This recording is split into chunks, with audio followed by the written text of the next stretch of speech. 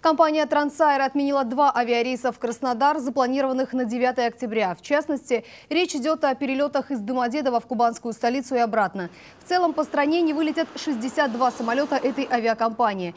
Впрочем, для пассажиров это не столь уж критично. К местам назначения их доставит компания «Аэрофлот».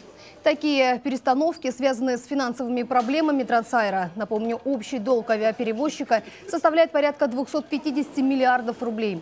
Продажу билетов на его рейсы рейсы 1 октября остановила Росавиация. Тогда же на совещании, которое провел российский премьер Дмитрий Медведев, было принято решение запустить процедуру банкротства как единственно возможный вариант решения проблем Трансайра.